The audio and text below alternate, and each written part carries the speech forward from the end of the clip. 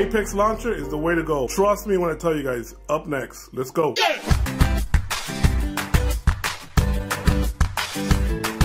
Hey guys, welcome to my channel. Appreciate of you guys. If you're new, go below and subscribe, hit the little bell. Welcome to Touchtone App and Tech Trends where we bring you guys the latest apps and tech trends. Today I'm bringing you guys Apex Launcher. It's an Android launcher for your Android phone only. Why do you need a launcher? I'm gonna show you why you need a launcher. It's gonna speed up your whole process. It's gonna make your life much more easier. Trust me. It's faster than your regular stock launchers. If you think your launcher is already fast, I have the S20 and it's already fast, but this makes it 10 times faster. I only use the Apex launcher depending what phone you have. This Android device is an S20 I'm gonna show you an example of. Guys, remember to win $2,000 for this month, you have to comment and subscribe to this channel, and you'll be eligible for that. You're eligible for also for all the other giveaways that we do, okay? Getting back to that, let me show you guys what I'm talking about. So what you're gonna do is you're gonna go look for your Play Store, open up your Play Store. As you can see, I already have it here, but we're gonna search it. We'll type in Apex Launcher, click on the Apex Launcher. As you can see it right there. Now you're gonna wanna install it. I already have it. Apex Launcher Classic, Apex Launcher Pro. One's paid, one is free, but you can use a free one. I suggest you use the free one before you go over the paid one, just in case you don't like it. Once you have it,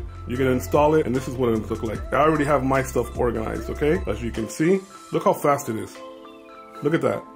So what I like about this, this is a Google browser, right? The shortcut, it's a widget. You can resize it. It normally comes like that. What I do is I make it small and put it down here so it's easier accessible. Then you have your Flipboard if you want, it's a widget. Flipboard just basically giving you news on everything you like, technology, everything. You pick whatever you like and it'll put it on there for you. Whenever there's news, it'll come out here across your screen. Now this is what I love so much about this Apex launcher. As you see, I have shortcuts. I made my own shortcuts. How do you make the shortcuts? I'm gonna give you an example.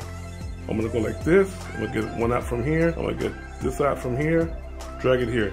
So what you do is simple. You grab whatever apps you want together, put it inside the other one, and now it makes a folder. Now, if you want to name the folder, you hold it down, you type in edit, hold it down, you type in edit, and you can call it whatever you want. You name it right there. And then you see it, you can name it right there. That's simple. So you have a couple folders here. I have my Facebook, Pinterest, I have my Sonos for my house and my Evernote. You can customize it however you want. It's very, very simple. The fact is that it's super fast. Look at that. Super blazing fast. Your emails. I hope you enjoyed that. This is called the Apex Launcher. It's a go for me. Let me know what you guys think. All right, now that you've seen that, what do you guys think about that launcher? What launcher do you guys use? Let me know in the comments below what launcher you're using. Did you like this launcher? Are you willing to use it? Why you wouldn't use a launcher? Why would you use a launcher? Okay? Many reasons why you maybe wouldn't want to. Some free ones have tons of ads. The Apex doesn't. You can get the paid version as well. That's up to you. I have the paid version. I have the free version of both of all my phones. I have them mixed up, so they work just as great, right? So I appreciate you guys like always. You know what to do. Everything we do here is for you. Easy peasy.